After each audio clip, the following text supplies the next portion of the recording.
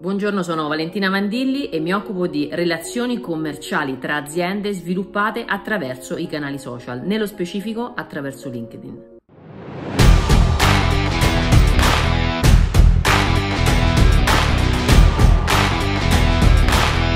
Quali esigenze hanno le aziende oggi? Quelle di comunicare fra di loro, quelle di riuscire in qualche modo a trovarsi, prima di tutto, a parlarsi nel modo giusto e a stringere delle relazioni.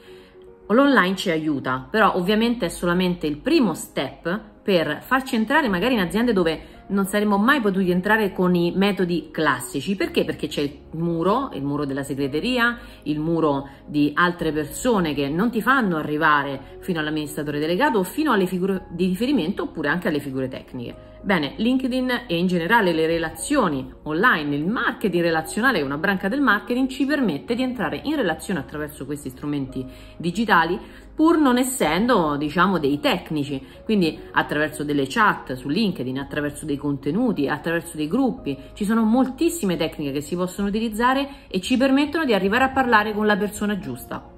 Da qui la domanda, cosa dire alla persona giusta? Cosa dire alla persona che ci dovrà presentare questa persona giusta? Bene, va creato un protocollo aziendale. Finalmente i social non sono qualcosa di intangibile, ma qualcosa di assolutamente concreto e misurabile, per esempio attraverso il tuo CRM o anche attraverso un semplice eh, foglio di Excel. Come? Misurando le azioni che si vanno a compiere. Un protocollo è semplicemente un insieme di azioni che ci porta a un risultato. Quindi queste azioni vanno ripetute nel tempo dai tuoi commerciali o direttamente da te se sei un freelance o un amministratore di una piccola azienda. Queste azioni, quindi andare a creare un, una rete, quindi cercarti delle persone su LinkedIn, le persone giuste, cercarti i contenuti giusti con i quali interagire per essere visibile magari eh, come azienda o come singolo a quella, a quella persona nello specifico, sono tutte delle azioni che vanno messi all'interno di un protocollo e finalmente l'azienda avrà la sua origine del passaparola, sapremo esattamente dove comincia, da chi comincia e dove va a finire. Questo ci permette di avere il controllo sul passaparola, cosa che è praticamente impossibile con i metodi tradizionali e anche qualcosa in più, cioè la facilità di stare davanti a un computer e di far acquisire da parte di un tuo dipendente o da te direttamente una serie di contatti di qualità da utilizzare come vuoi. Potresti mandargli dei commerciali, potresti andare tu direttamente, potresti inviare delle risorse, dei campioni.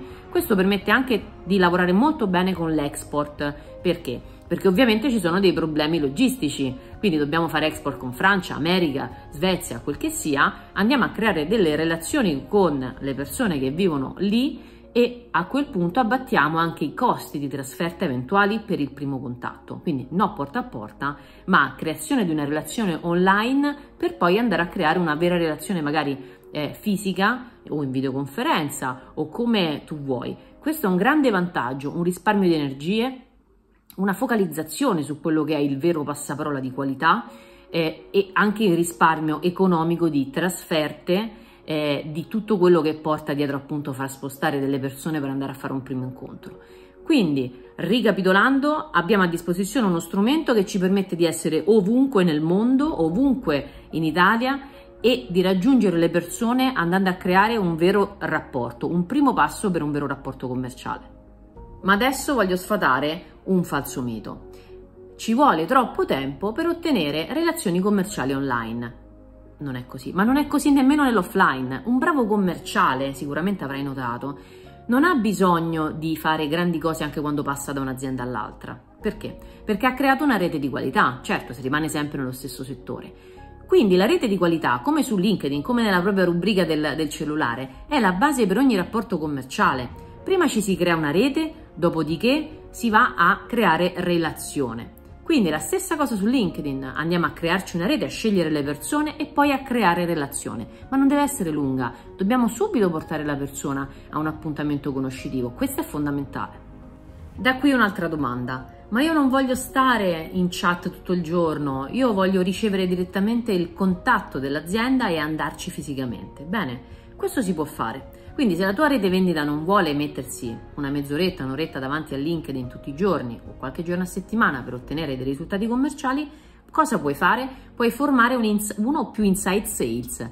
Gli inside sales ti permettono di avere una persona dedicata X tempo al giorno, questo lo deciderai tu, solo per fare acquisizione di contatti da passare poi ai commerciali. Questo è fondamentale perché spesso eh, appunto il commerciale, se è un commerciale itinerante, non ha tempo per fare questa attività e quindi in questo caso LinkedIn ci viene incontro e ci permette di far raggiungere a un Insight Sales tutte le aziende che vogliamo in Italia e all'estero.